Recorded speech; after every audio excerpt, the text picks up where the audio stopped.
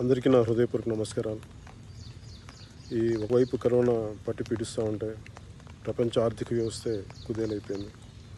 ఇలాంటి పరిస్థితుల్లో అసలు ఎడతెరపని వర్షాలు గత కొన్ని దశాబ్దాలుగా ఎప్పుడు చూడనంత వర్షాపాతం దేశం మొత్తం చూస్తుంది అలాగే మన రెండు తెలుగు రాష్ట్రాలు ముఖ్యంగా తెలంగాణలో దీన్ని తాకిడి ఎక్కువ ఉండటం వల్ల గత ఒక వారంగా ఇది చాలామంది జీవన విధానం చిత్రం అయిపోయింది చిన్న భిన్నం అయిపోయింది ఆస్తి నష్టం జరిగింది.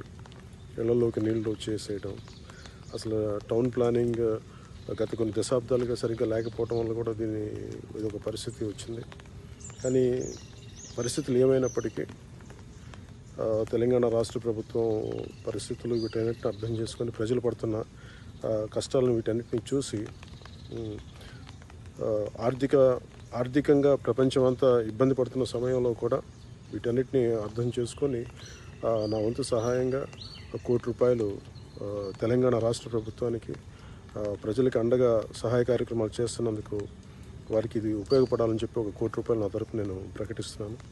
అలాగే జన సైనికులకి అలాగే ప్రతి అభిమానులకి నాయకులకి కూడా మీ వంతు సహాయ సహ- సహకారాలు అంటే ఏదైనా ఇబ్బందుల్లో ఉన్న సహాయ కార్యక్రమాల్లో ముమ్మరంగా పాల్గొనడానికి మేము మీ వంతు మీరు కృషి చేయండి. ఈ పరిస్థితులు మన ప్రభుత్వాలకు అండగా ఉండాల్సిన సమయం. మీరందరూ మనస్ఫూర్తిగా ఈ సహాయ కార్యక్రమాల్లో పాల్గొనాలని మనస్ఫూర్తిగా కోరుకుంటున్నాను జై హింద్.